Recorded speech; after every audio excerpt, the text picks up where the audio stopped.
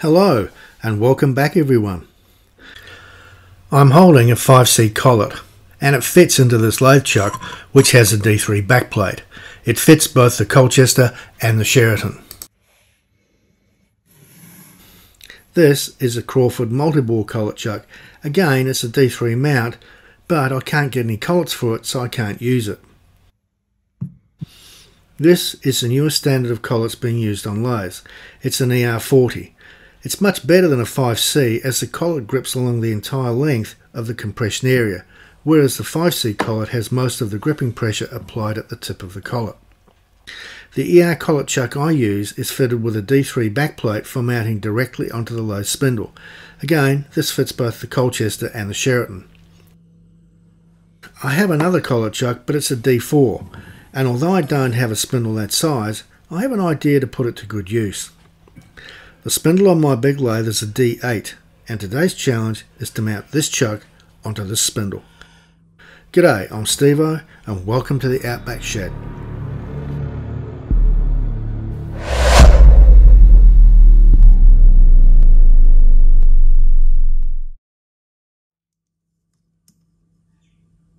The faceplate for this lathe shows a size problem. The collet chuck is 125mm in diameter, while the spindle size for the lathe is 220.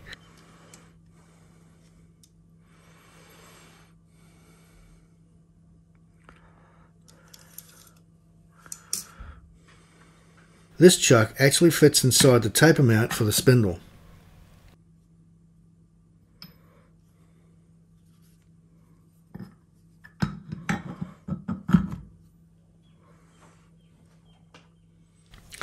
I have a piece of 6061 aluminium which is 280mm by 85mm and it will do nicely for making into a backplate. However, I have a few spare faceplates and they already have the spindle mount machined. Rather than convert a nice piece of aluminium into a large amount of swarf, I'll use a spare faceplate and convert it to a backplate for the collet chuck. I'll need to reduce the diameter to a manageable size and as the speed rating for the faceplate is low, reducing the diameter will allow the chuck to be used at high speeds. I could cut it with a bandsaw, but mine only cuts horizontal. Or I could cut it with an angle grinder, but that's a bit agricultural. So I'll trepan it. I'll put a pair of sacrificial parallels onto the mill table. Their sizes are relatively unimportant. What matters is that they are identical. I machined them together from some aluminium offcuts I had on the shelf. They were a good rainy afternoon project and they're very useful. I do need to give them a clean up at some point, but they will be fine for today. I've mounted the faceplate over a centre boss that bolts to the table. This way I can remove the outer strap clamps and rotate the plate while still maintaining plate on centre. I have a pair of machinist jacks at the clamping point to secure the edges the parallels are located underneath the spindle mount and that is not even with the outer rim. Using a 16mm solid carbide end mill, I'll slice in between the slots. This is nice cast iron and it's cutting very well. You didn't really think I was going to trepan it in the lathe, did you? Well, it's the same thing. I'm just using a mill, which as we all know, it's just a lathe standing on its end.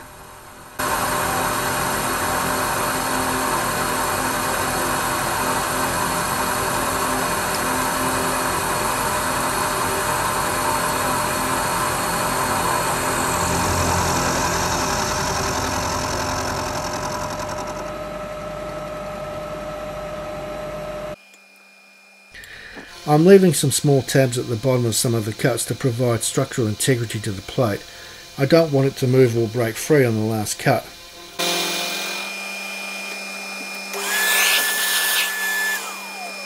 Cast iron tends to cut well if a robust cut is taken. Finer finishing cuts tend to produce a powdery swarf, but all cuts produce some fines which linger in the atmosphere.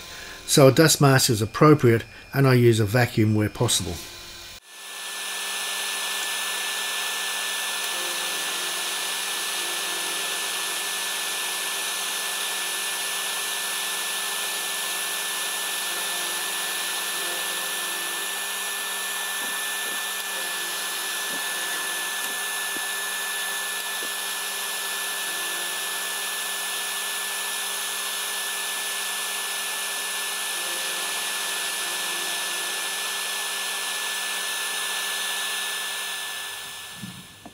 I'll now separate the two pieces with a hammer and chisel.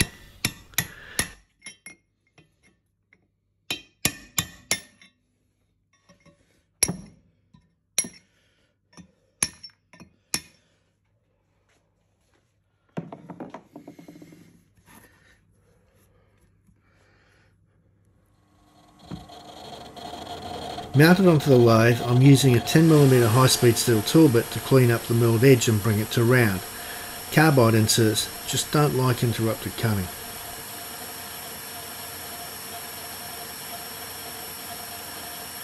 I have the lathe well covered and I'm using a vacuum to capture the fines and as much swarf as possible.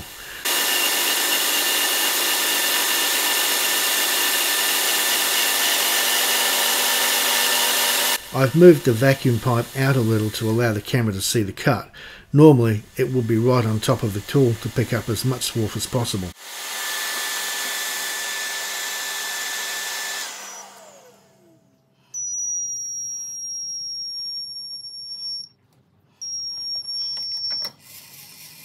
Now back to the mill.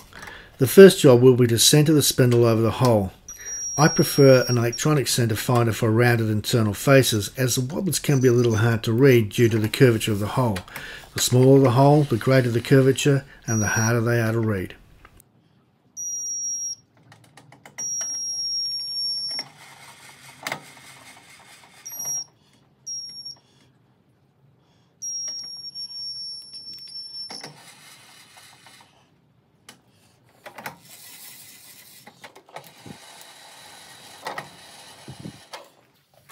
Next, I want to make sure that the orientation of the plate has the remnants of one of the T-slots directly on the x-axis.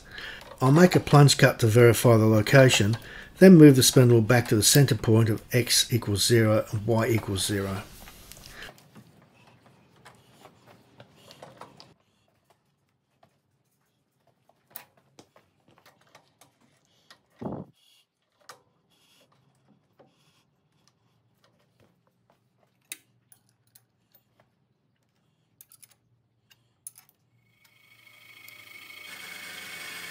I want to make a series of plunge cuts around the circumference of the plate to make it easy to spin the chuck by hand during setups. The plate had 12 slots and I reckon I can get two plunges in between each so that makes a total of 36. The pitch circle diameter of 235mm I got from the previous plunge and that's reapplied here. The DRO shows a graphic location of each plunge and the XY coordinates for each. It's just a matter now of setting the depth and plunging each in turn, moving the strap clamps as needed.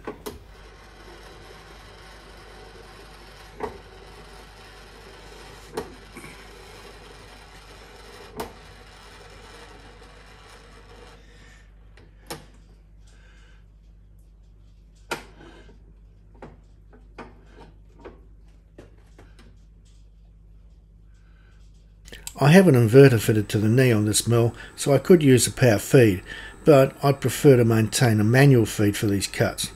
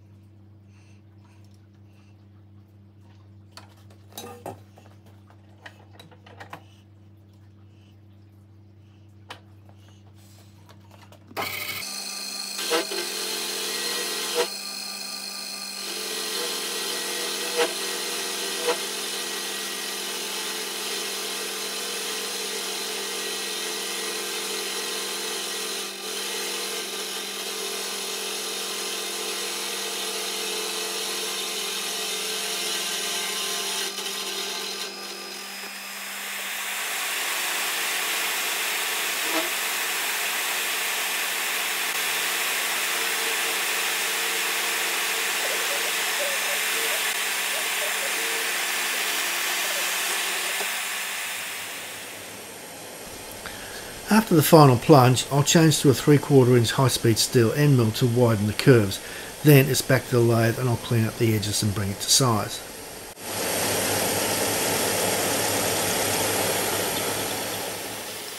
Note to self, stop mounting the camera on the mill table.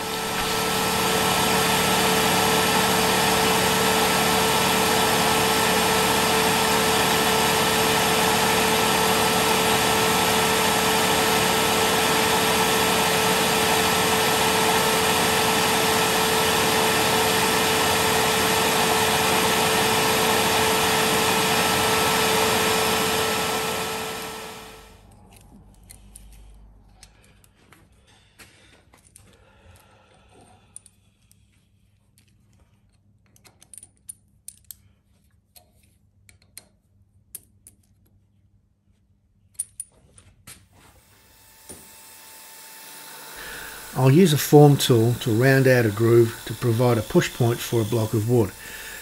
A mallet and a wooden block are often needed to dislodge the chuck for removal as they can stick to the spindle nose, making removal difficult.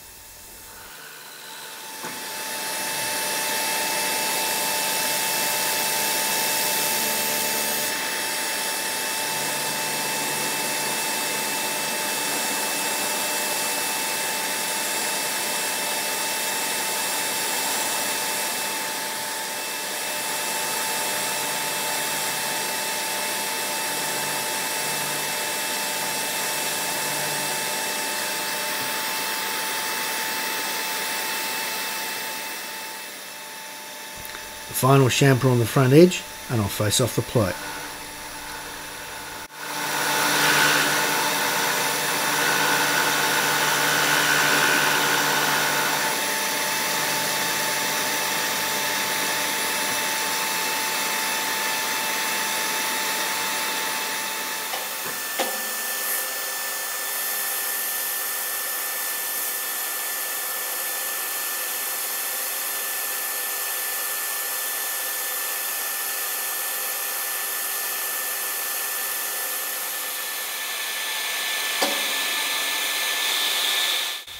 The collet chuck will be recessed into the back plate, so I need to cut a relief for it.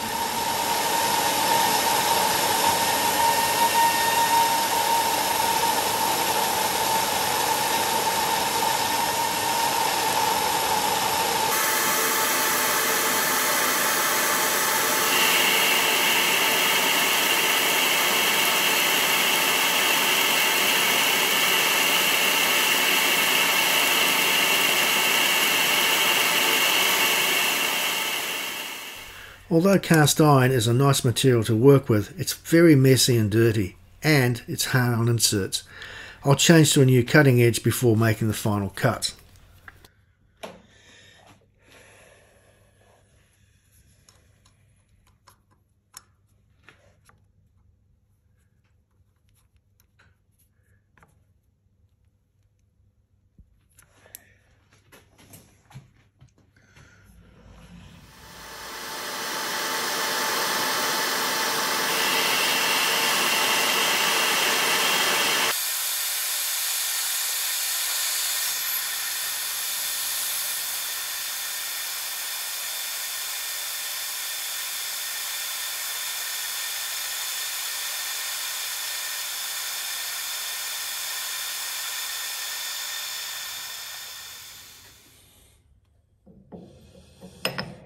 I'm making the relief half a millimetre oversized as I need some wriggle room to centre the chuck when I mount it.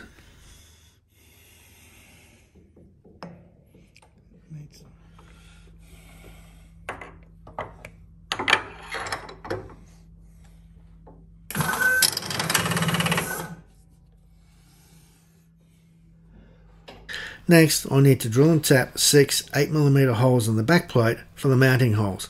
I'll drill these at a pitch circle diameter of 95 millimeters.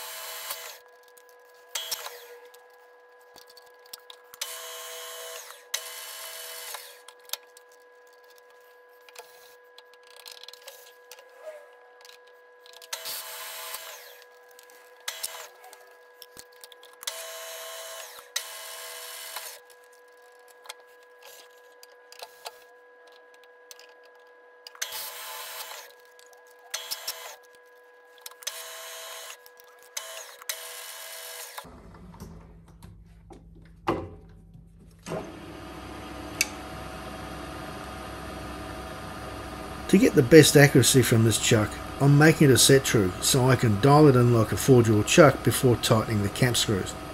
I've clamped the back plate to an angle plate so I can drill four 5mm holes right through to the centre and then thread the outside to take a 6mm grub screw.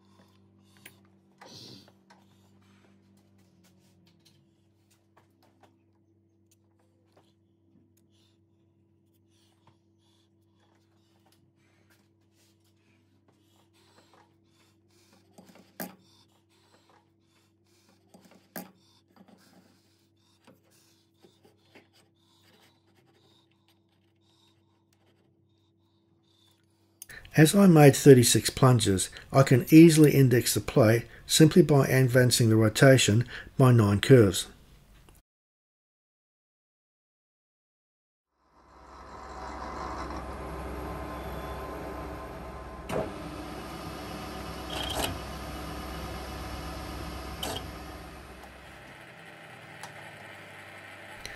Next, I need to drill and counterbore the six holes in the chuck.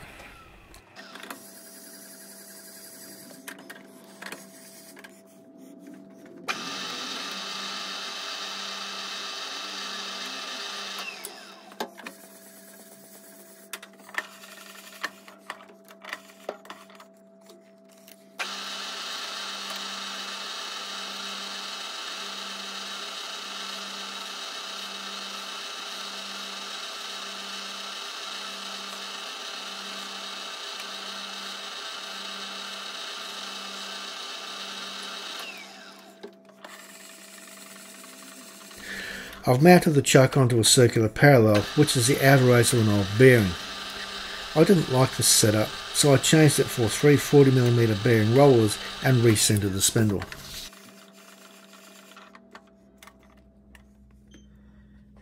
The settings are the same, 6 holes on a pitch circle diameter of 95mm.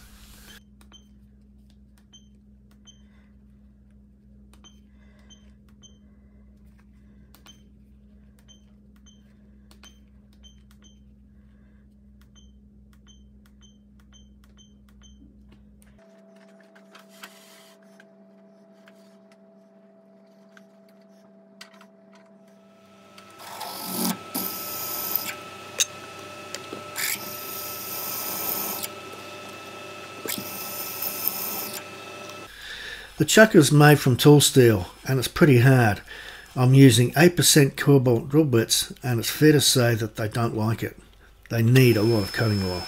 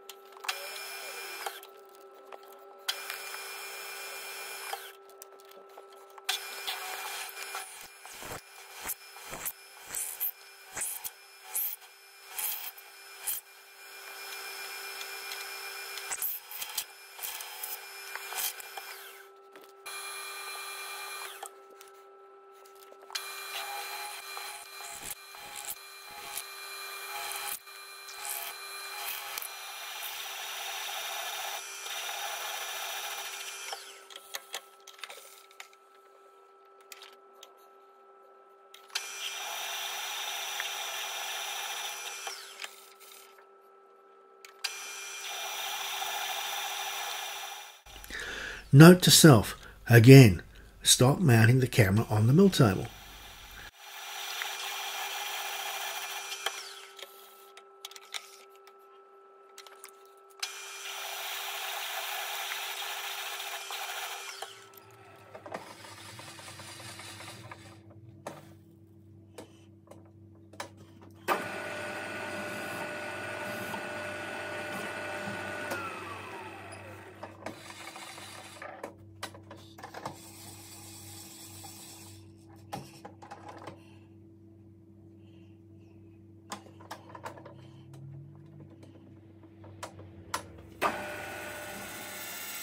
Now it's over to the Colchester to machine four 5mm push rods for the chuck adjustment.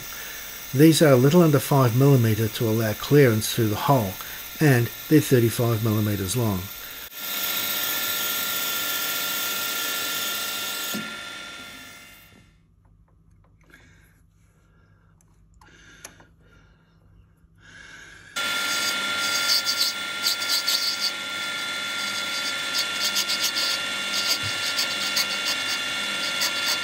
I'm showing one rod here, I made the other three off camera.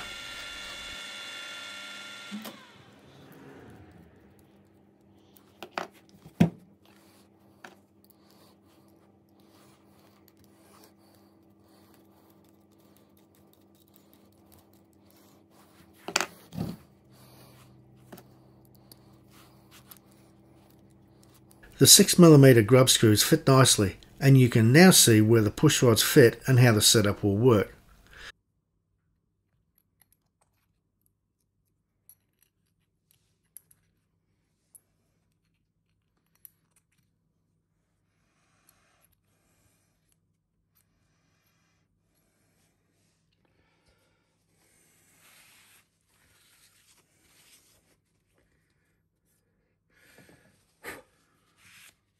I use compressed air to clean the parts, but they still need a wipe of the tissue.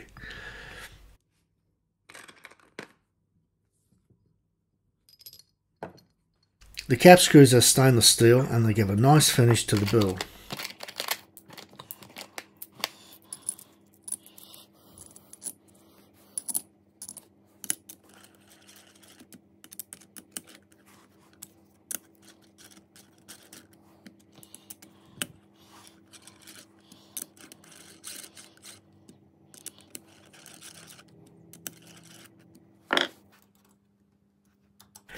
Mounted back on the spindle, I can now dial the chuck in just as I would with a four jaw chuck.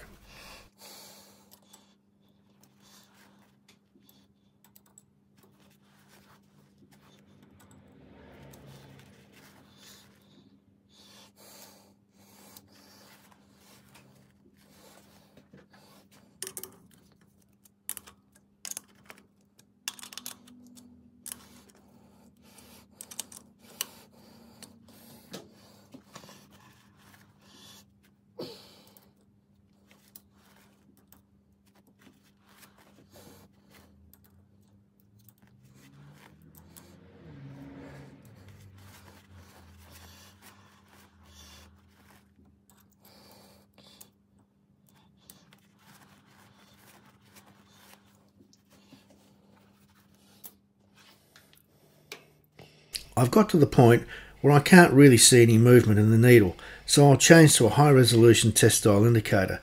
This one measures microns. That's a thousandth of a millimeter. I'll gradually increase the tightness of the cap screws while still making adjustments.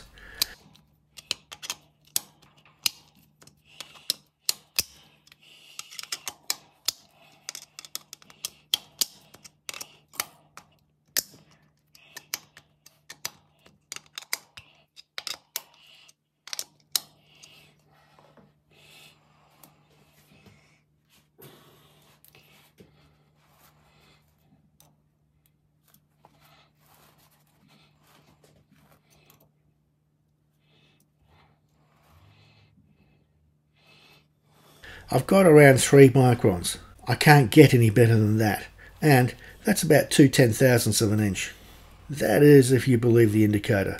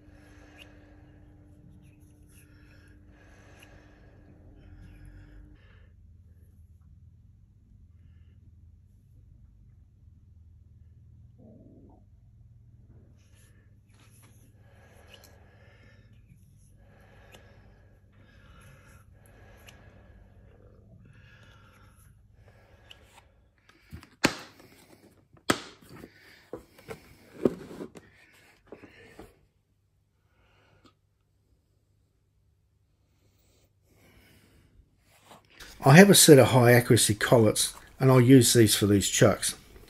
I would prefer not to use the collets I use in the mill.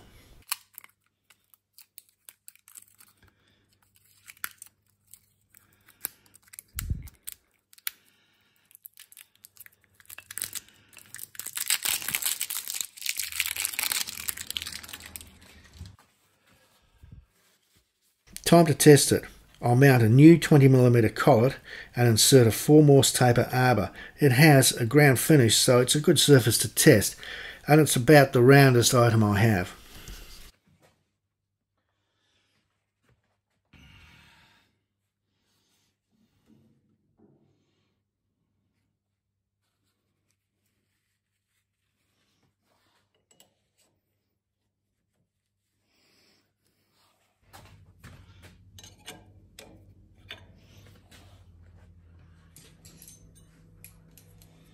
I'm moving the stylus around on the arbor to see if there are any changes. The indicator is showing a total indicator run out of between 3 and 5 microns. I'm unsure how much credibility to give that as it's a cheap indicator and not a known brand. However, it does seem to agree with the yellow MeasureMax indicator, which is a good brand. That said, I'm very happy with the result. This chuck makes a great addition to this lathe. I have several 3 and 4 jaw chucks and a faceplate, so it has a high level of versatility. This build has provided a good outcome for a faceplate that I had no use for. I still have a couple more spare, so there may be other opportunities for repurposing them in future projects. As always, thanks for watching. I hope you liked this video and found it of value. If so, please consider subscribing and liking. In the meantime, be productive, be creative, but most importantly, be safe in your shed. Catch you next time.